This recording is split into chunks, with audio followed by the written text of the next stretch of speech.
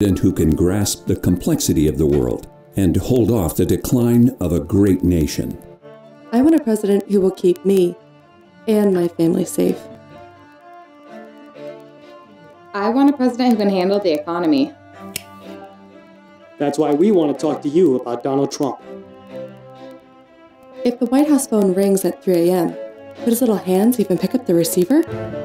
How can he create jobs if his hands are too small to shake on the deal? When he decides to launch his nuclear war, will his stubby fingers even be able to push the button all the way down? America deserves his hand measurements. It's time our country learned every inch of the truth. So we've launched Americans Against Insecure Billionaires with Tiny Hands PAC. Go to DonaldTrumpHasTinyHands.com to sign our petition. Together, we can learn if Donald Trump can truly handle being commander in chief. Paid for by Americans Against Insecure Billionaires with Tiny Hands PAC and not authorized by any candidate or candidates committee.